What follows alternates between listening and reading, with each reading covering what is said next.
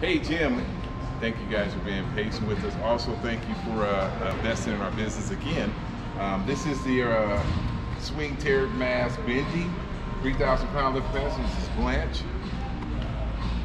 As your uh, service stickers right here, showing the last day of service, your low back rest, your safety uh, painted yellow tip uh, forks, your mast lifts up 21 feet, uh, six inches. We also have uh, our discount uh, maintenance guide. I know you received one last time, so I'll just be real brief with you. Remember how it works. It just helps you keep track of how many uh, hours you guys been working on your forklift. You take care of it, take care of you. Um, just always saying thank you for doing business with us. Got your little cool bag here as well. Uh, I'm gonna go ahead and jump in and give it a test run for you. I'm gonna show you some of the controls first before I get going. Uh, for example, right here, this is your lift up and down, tilt forward and back, and this is your side shift, and your horn is right here. Just turn it all the way to the right to get it started. This is your control. Press forward, it goes forward, pull it back, it goes in reverse.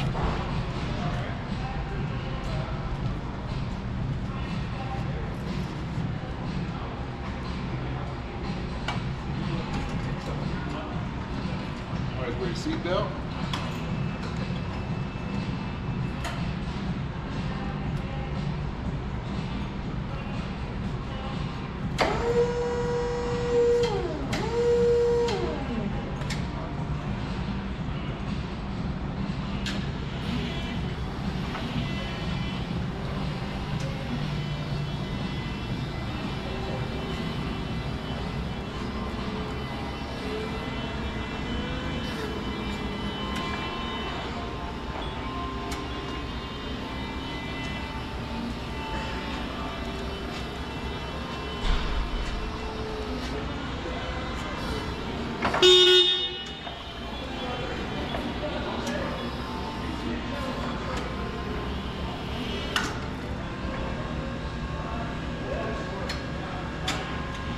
Brakes work good.